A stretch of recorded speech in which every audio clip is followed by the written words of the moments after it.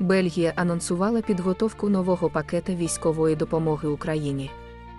Прем'єр-міністр Бельгії Олександр Декро заявив про це на спільній прес-конференції з президентом України Володимиром Зеленським та прем'єром Нідерландів Марком Рюте. Уряд Бельгії готує новий пакет військової допомоги Україні.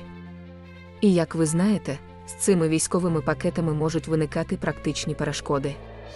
Але немає жодного сумніву, що ми маємо продовжувати цю підтримку, заявив бельгійський прем'єр.